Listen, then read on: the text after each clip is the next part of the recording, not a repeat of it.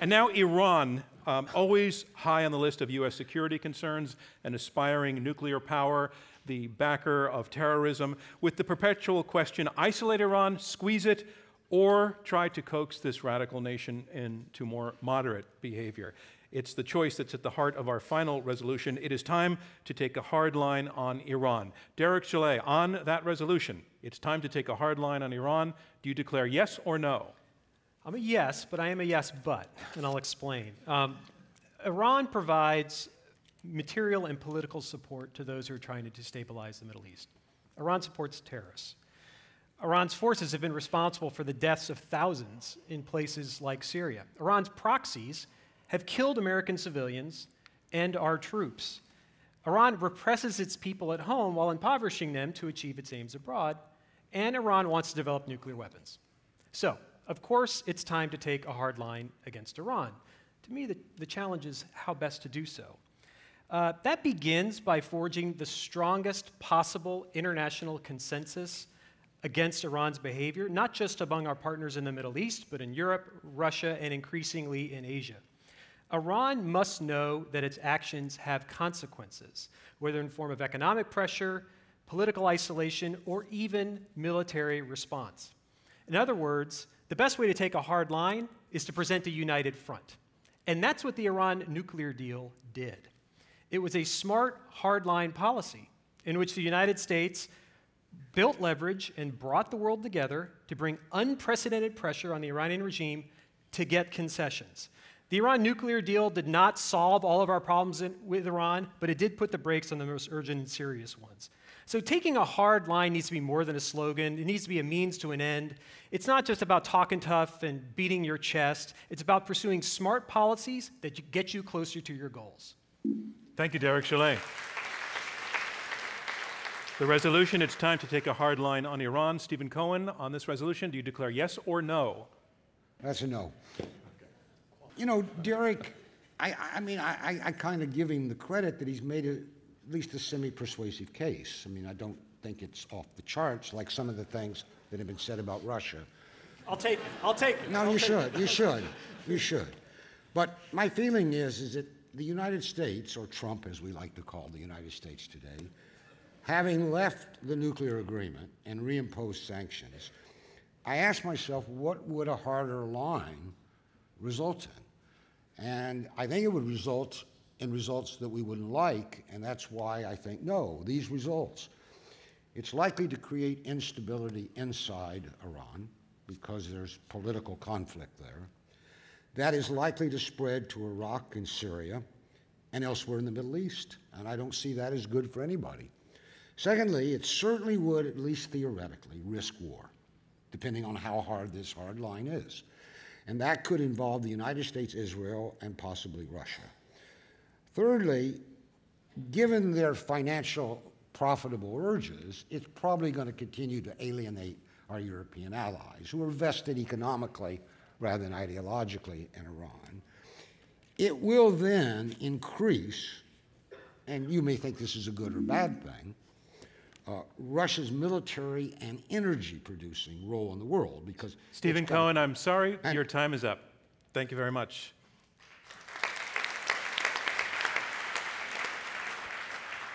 Going now to Kori Schake on the resolution. It's time to take a hard line on Iran. Please tell us how you declare. It is time to take a harder line on Iran. They are the top state sponsor of terrorism in the world.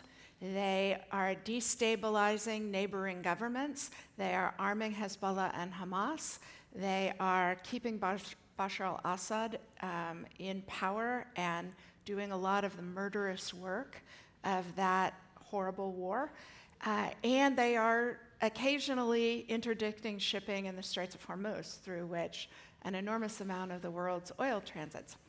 Uh, so, so, yes, we should take a harder line. Uh, I agree with both Stephen and Derek that withdrawing from the Iranian nuclear agreement made that harder because it makes it harder for us to get the support of countries that we need to take a harder line. The basic problem in American policy for the last two administrations toward Iran has been that uh, both the Trump administration and the Obama administration had an unbelievable policy, namely, either you stop your nuclear weapons program or we will destroy it. And I don't think that's credible out of either of the two governments. We need a wider range of tools uh, to manage the Iran problem. At, the, at its core, the Iran problem is that the domestic legitimacy and the foreign policy of Iran have the same root, which is they view that themselves as a revolutionary power. So taking a soft line on Iran doesn't result in Iran stopping doing these things. Thank you, Kori Schake. It's time to take a hard line on Iran. John Mearsheimer, do you declare yes or no? I say no. Uh, I take this resolution as a question uh, dealing with President Trump's decision in May of this year to withdraw from the uh, nuclear agreement with Iran. And uh, I think that that was a fundamental mistake. Look, the question is if you have a country, you have a country like Iran that is thinking about getting nuclear weapons, what's the best way to prevent that from happening?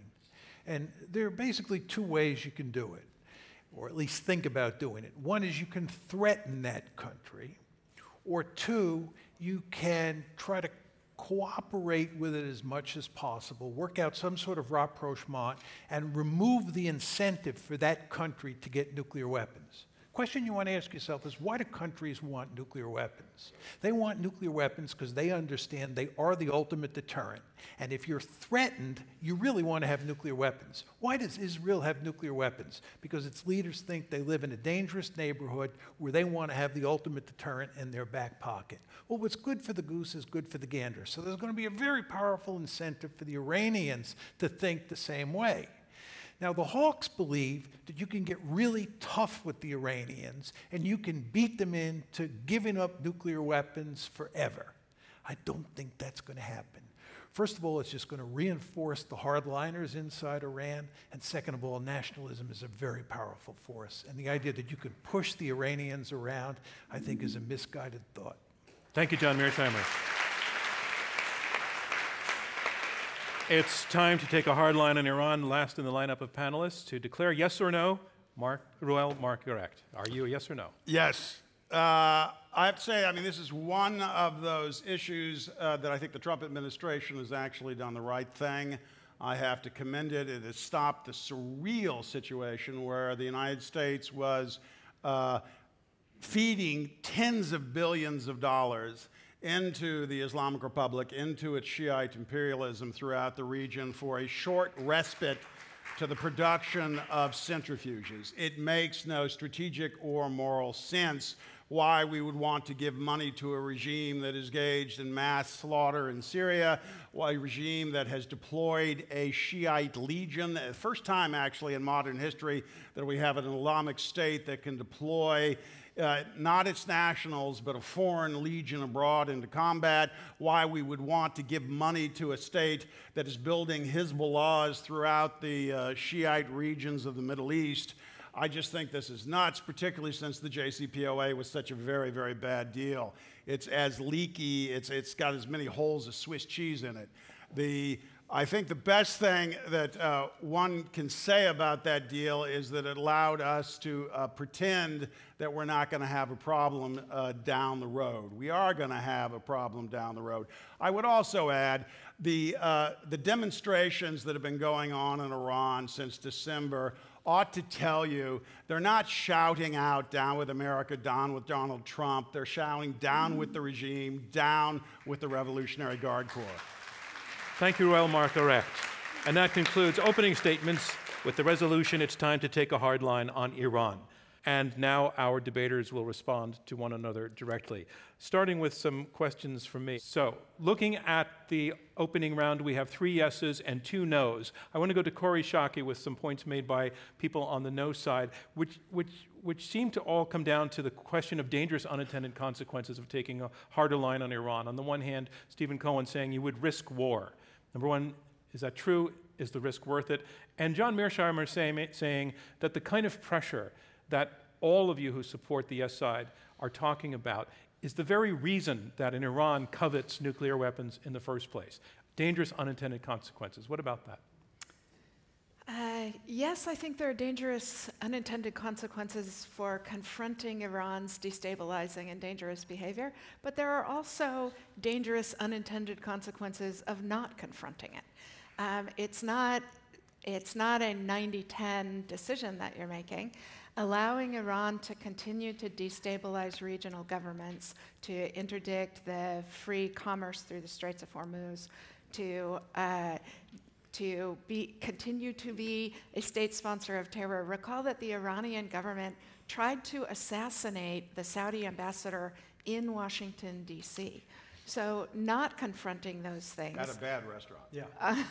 also, also has the potential to encourage and incentivize continued Iranian malign behavior. So, uh, yes, there are potentially dangerous consequences of doing it. There are also dangerous consequences of not doing it. Derek Chollet. Well, look, this is the land of no good options, right? When I was at the Pentagon during the negotiations of the Iran nuclear deal, I had nothing to do with the negotiations. Uh, what the Pentagon's role in this was what do we do when the negotiations or if the negotiations fail?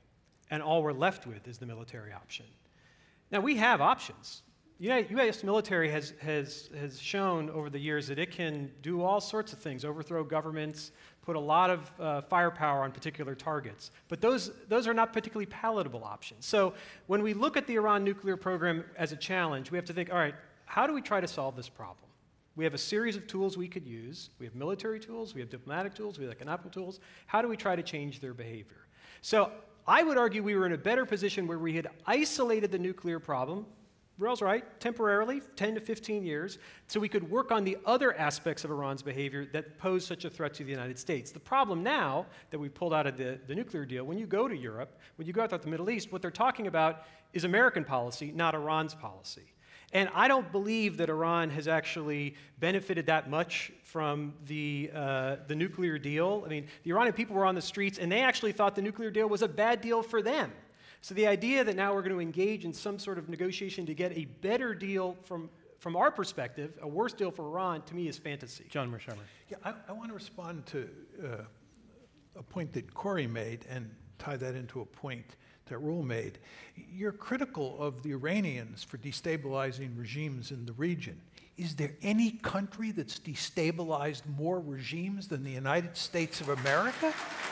I mean, the hypocrisy here is really, with all due respect, stunning. We make a business of destabilizing regimes. And this brings us to the matter of Syria. I'm sorry, it was not the Russians and the Iranians who started that humanitarian disaster. It was in good part the United States, the Turks, the Qataris, and the Saudis who funded and trained the insurgents and tried to bring down Assad and failed and created a humanitarian disaster of the first order. The United States has blood all over its hands in Syria. And it was the Russians and the Iranians who came in later who were trying to put Assad back in power. And as distasteful as that outcome is, it's the only possible way we're going to stop the bloodshed in Syria. So, so John, John, I want to relate what you're saying to, uh, to, the, to the resolution more directly to take a question to Reuel. So are you, are you actually arguing that Iran, in a way, is, a, is showing wisdom and is a force for stability in the region? It is in the case of Syria. Okay, let me take that to it's the United States and its friends in the Middle East who caused the catastrophe. Reuel, that assessment of Iran's role in Syria, I, I, I don't want to get into the. I, John has made his point, but we're not debating right now, strictly speaking, the U.S. role. We are debating Iran. So, what about the role, the, the argument that Iran, you've made the case that Iran has been the destabilizing force in Syria. He says, no, actually, it's been a force trying to figure things out in the right direction. No, I mean, the destabilizing force in Syria was the Ba'athist uh, dictatorship of the Assad family. Uh, and the Syrians attempted in a moment to try to get rid of it. I mean, uh, people tend to now somehow scorn uh, the Arab Spring. I prefer to call it the Great Arab Revolt, but uh, you tend to forget that they were trying to overthrow just hideous regimes. Uh, and that hideous regime decided that the only way they could control the situation, because they represented the Alawi, which are less than 10% of the population, was just start slaughtering the Sunnis. And of course, we stood by and watched it. Uh, and I don't think that was the high watermark of the Obama administration. So, and the Iranians are out there, they're out to recast the Middle East. And what they know, and a lot of people tend to forget, is that in the classical Middle East, that is from the Mediterranean to uh, Afghanistan, it's basically a 50 50 split between Shiites and Sunnis. And so the Iranians have learned that they can adopt a very aggressive sectarian approach and that they can get a lot of traction. Stephen Cohen, I don't have a direct question for you. I'd like you to respond to what you're hearing if you would like the opportunity, because it's rare that I haven't heard from you in a while. So go for it. You haven't called on me in a while. Okay, go for Um, it. I mean, there's a problem.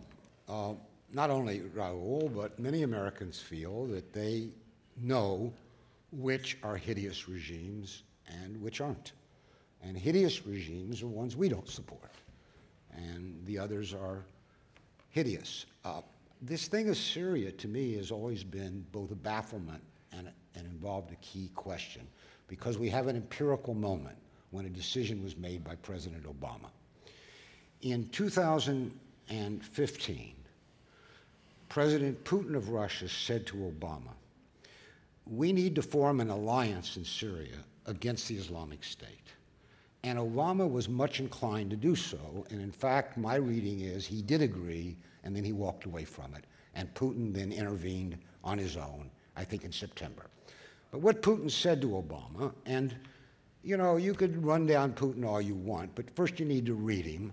He doesn't talk about the United States the way Khomeini does. You just haven't read Putin. You're just making that up. I mean, it seems right to you. It seems right to you, but it's not true. Here's the point. Here's the point.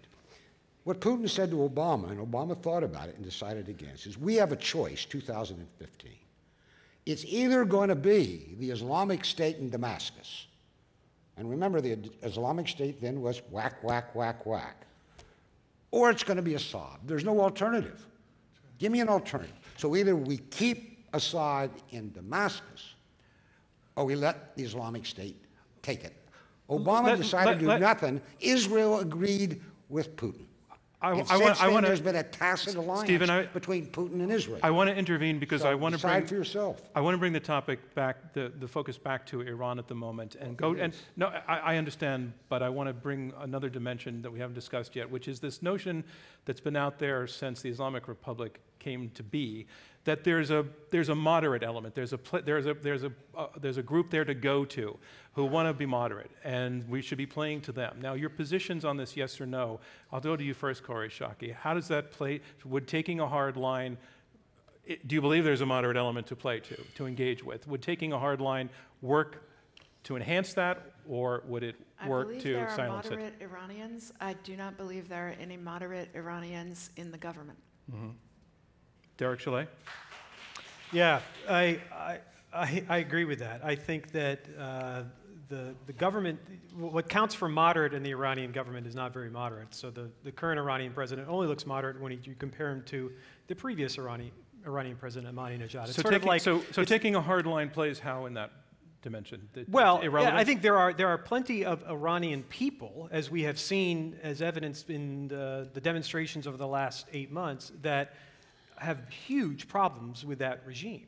Uh, so I think that uh, showing that the regime uh, w- will suffer consequences for its behavior, I think can have an effect.